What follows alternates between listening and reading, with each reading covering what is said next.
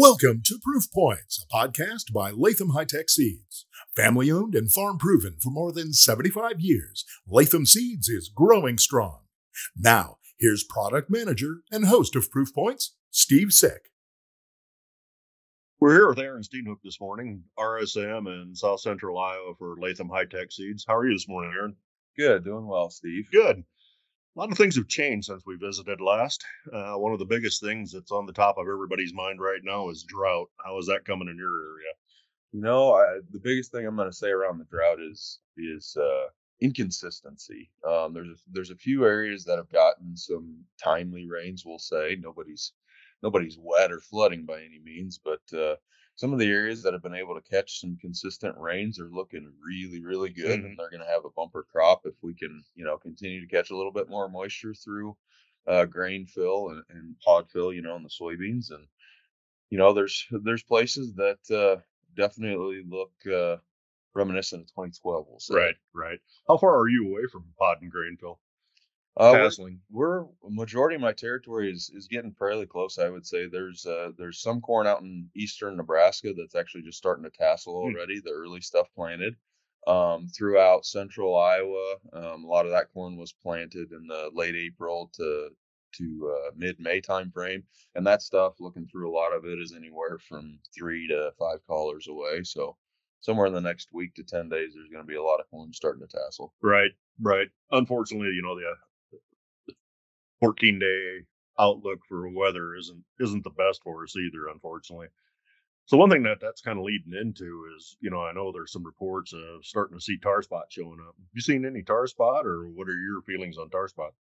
Haven't been able to find it in the field yet. Um, I'm aware it's been found in what seven counties now in the seven. state of Iowa yep. confirmed. Um, it's definitely something to keep an eye on. You know, the the areas that have caught consistent moisture um, and some of the fringe areas around those areas, mm. they've had consistent dews overnight, and that's been part of our saving grace um, as we've gone through some of the heat. As we've had cooler nights right. to allow that corn to to rest a little bit too, and so we've we've actually had, even though we're in the middle of the drought, we've actually had you know some of the environment that we need in order mm-hmm. for tar spot to start forming. So it's something we're definitely going to need to keep an eye on uh, as we move forward. And remember that uh, if we're starting to see lesions, it's already too late. Right. You know, that plant's already been infected. Um, and so we need to be a little bit more proactive on it this year, I think, than we have been the last couple years. Yeah, it's really important that for those of you listening, that if you do find lesions on the lower leaves, uh, that is the most important time to start spraying.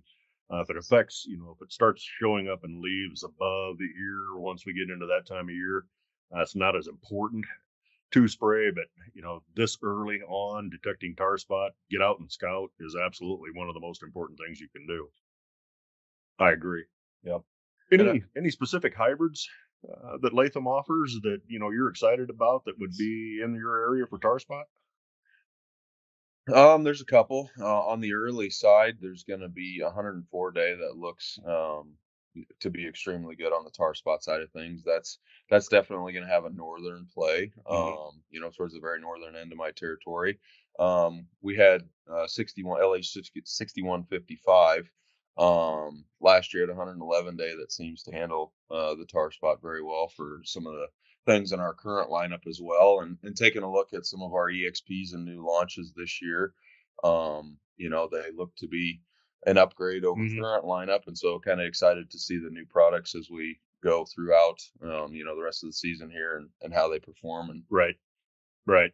Now, one of the other new things that we've done this year at Latham is we've introduced what's called training and excellence plots. We call them tie plots for short.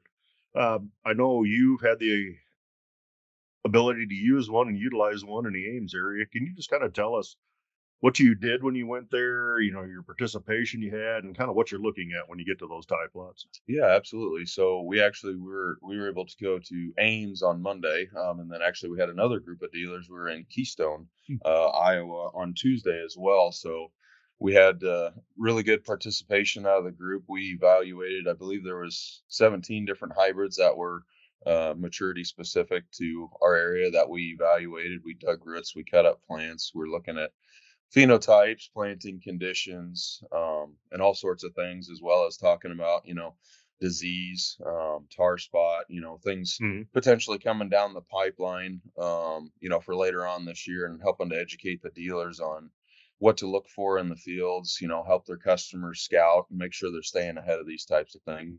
Uh, that way they can, you know, provide better customer service Right. and better return on investment. Yeah. What was the feeling from your customers at that event? It was good. They were excited. Um, we had uh, you know a lot of a lot of good ideas bouncing off and off off of each other. Uh, something Good. I think that was a little bit unique is we crossed some territory lines, and so we had you know some groups together that maybe normally wouldn't get Mhm. together. Right. And so some of the more western guys from western Iowa and Nebraska were talking to guys that were you know closer over to Illinois and and talking about some different things they were seeing. You know, the eastern guys had teen, seen tar spot a little more than the western Mhm. guys, and and so the western guys are a little bit more prone and used to drought and, Right. you know so they were talking about what works in those type of years Mhm. and, and that's something normally they wouldn't get Right. Right. Yeah, that is a little bit unique. Is this the first year you've had that ability to experience those plots like that? this is the first year we've really had uh you know at, in a large group setting i'll Right. say with the Okay. dealers um we had kind of we started this a little bit last year on some smaller scales um you know a little bit closer to home but we really didn't have the the large group and crossing territory lines and and a little bit bigger geographies coming together like we Right, did this right. year so Are those plots available also in the soybean side as well as corn? They are. Yep, we have them on the corn and soybean side both. So we're actually planning here probably somewhere around the uh, middle to latter part of July. Here we're gonna go look at the soybeans as we get a little bit closer to being able to see a few more of the differences uh, in soybeans out in the field. Right. Being in the R and D side for my entire career, it's you know it's always interesting to get different people's opinions on what you look at at different times of the year. A lot of people think there's there's nothing to see right now. Do you differ in that opinion? Is there plenty to see right now to go out and look at those plots? Oh, absolutely. There's always something you can see. There's always something you can learn. Eh, you know, learn on the the bigger differences. I'll say above ground. You know, start Mhm. to come later on in the season. There's always things you can find currently above Right. ground as well. But early season, I like to dig plants, look at what's going on below ground. You know, tells me a bigger story. Um, you know, we were able to find some rootworm feeding uh, in Oh, Ames wow. already. Okay. We found some westerns and northerns. We found some rootworm feeding we were able to find some uh, some planter mistakes from this spring. You know, um, there was a little bit tacky conditions. One part of the plot Mhm. got planted. We found some compacted roots, some hatchet roots, and that was leading to a few deficiencies, like some potash deficiencies and so on, with the drier weather um, and a few pockets. And so there's always something you can find. Yeah, yeah, I agree, and it's it's very important to go out and do that this time of year. You know, i may not think there's much to see, but like Aaron said, there's a lot to see, look at, and different things to view out in the field this time of the year. Uh, it's also nice. It you know the corn's not tall enough really. You can get a good breeze blowing. It's nice and comfortable out there, and see things that maybe you can correct for next year.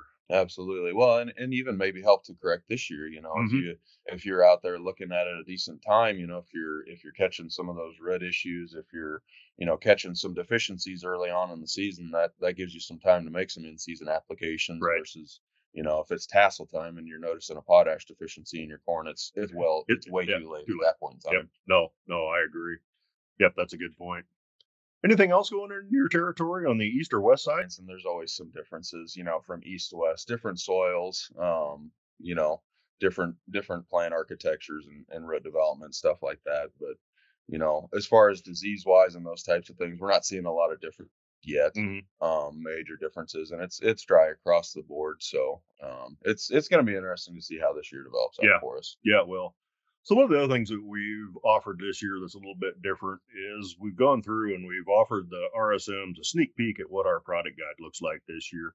There's been quite a few changes, some changes at some columns, some changes at some ratings. Uh, you've had a chance to look at that, Aaron. How do you think that looks? It's I think it's going to be really good. It's it's condensed, but it still gives you a lot of really pertinent information, um, more organized, and I think it's going to help with, you know,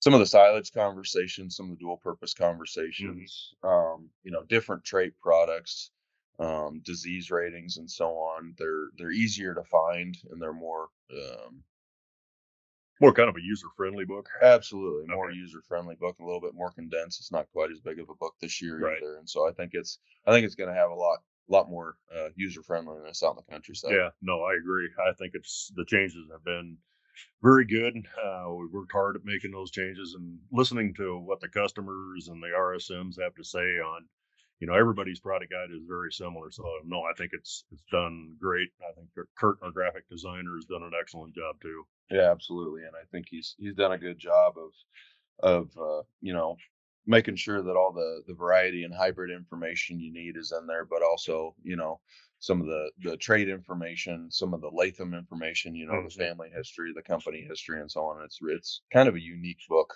yeah. You know, um, as far as telling the story and the and the whole picture of why and who is Latham. Mm-hmm. Yeah, I think one of the one of the unique things is we put a trait characterization chart and trait comparison chart. So it lists all the traits out there in the industry, uh, what everybody is selling, and then what each hybrid uh, contains. You know, VT double pros, SmartStax, power core, and list, uh, what each one compares. So, you know, that's some really useful information as to how like a lot of traits are, but yet there's subtle differences and a lot of the differences that are out there too. And the same thing is offered on soybeans as well, just to make sure. Um, we've had some issues, obviously, where some people have sprayed XtendiMax, XtendFlex over the top of E3 hybrids, and that's just not a great combination as well as vice versa. Yeah. It's not good when you're spraying Enlist no. one the over top of extender extend no. flex soybeans either. So. No, while we're on that conversation topic, uh, what's your area as far as percentage wise on E3s versus XtendFlex? Uh, I would say currently we're floating probably somewhere in that 90% uh, enlist E3 as a whole, uh, 10% Xtend, extend flex. there is some areas that are considering going back to um, the Xtend extend flex platform there's some different weeds that um, are a little better controlled with the dicamba mm. liberty program um, as well as just some differences in genetic bases um, and some of those things and so they're both good platforms um, they're both great weed control mm. programs as well you know you just have to figure out what works for you arm your operation um, you know, and then proceed with the options in front of you. Right. You know, one of the things you mentioned was about, you know, mixing herbicides in it. Are you seeing much resistance to either dicamba or enlist in your area? You know, I would say we're not seeing a lot of widespread stuff, but there's pockets. Um, there's pieces here and there, you know. Mm-hmm. For instance, the the southern end of my territory um, has probably a longer no-till history. Oh. Uh, and a wider use of uh, 2,4-D. And so there's some of those guys that the 2,4-D um, is not doing them any good for their mare's tail. Their their mare's tail right. has become you know 2,4-D resistance, and so uh, the dicamba is a play for the burn down there with a Liberty mm-hmm. post, right? Um, and vice versa. I've got uh, you know some guys that ran uh, the old Guardsman Maxes and Status and a lot of heavy dicamba usage in their corn. Um, and so now they've got some some pigweed and some of those types of weeds that are resistant to uh, the dicamba side of things. Mm-hmm. so the the 2,4-D is still working uh, for them as well. So yeah, unfortunately, I think in some cases we're kind of building super weeds. Uh, you know, we we keep bringing new combinations in uh, what's already out there instead of bringing in new modes of action. Mm-hmm. I know there's some coming toward the end of the decade, first of the 2030s, um, but that's obviously a, a ways away. Uh, the other thing I'm not a fan of is using all of our herbicides in both corn and soybeans. I think it's great to rotate. If you got corn, you can use a certain set of herbicides. You got soybeans, you can use another set. I think it's very important to rotate your herbicide programs. Absolutely. You know, and there's as we proceed, you know, down the road with multi-stack soybeans, there's mm-hmm. there's getting to be more and more of those um, herbicides that are crossing over from one crop to the other. Right. And I so I think as we move forward, you know, I think there's going to be some usefulness and carryover and you know drift and there's mm-hmm. there's some applications for those types of things. But what you said is is dead on. I think it's important to remember to switch up your your modes of action. You know between your crops that way you don't create resistant weeds faster. And I think something else to to remember too is stack your modes of action. You know, don't rely solely on one mode of action, right? right? Don't rely solely on your 2,4-D. You know, don't rely solely on your Liberty or your Group 27s and herbicides in, mm-hmm. in the, the corn, um, excuse me. And, uh, you know, stack your modes, stack your, your chances of, of having right. a successful kill. Right. And one thing that what Aaron just described as leaning into is you really have to keep good track and good record keeping as to where you plant because uh, not everything is going to contain, you know, the crop is not going to contain resistance to those certain herbicides. So it's extremely important to keep track of where you plant those hybrids, varieties, and make sure we get the right herbicide family sprayed on those crops, uh, just to pre- to prevent that resistance, to just prevent continued use of the same herbicides. Absolutely, you know, and better records lead to you know um, better planning down the road as right. well. You can see what worked from year to year. Mm-hmm. You know, you can look back at drier years and, and figure out what worked for you in a year like that as well. So that record keeping, you know, has has more than one application right. when it comes yeah. to success. Yeah, unfortunately, we've had several years now to where this drought and dry situation is becoming more and more commonplace. And so, unfortunately, we're building that trend. It's a trend we really don't want to build we're getting more and more knowledge on drought tolerance, on dry land situations, to where hopefully when we get back into a more normal year, which what is normal, uh, you know, we can it really will offset the trends we got going for the drought. Yep, absolutely. And disease pressure is different. You know, yeah, good point. We're, we're finding some some differences in hybrids. You know, with the drier diseases than than what we had. You know, the previous few yeah, years with point. wetter climates as well. Right, right, right. No, that's a good point. Nothing's the same.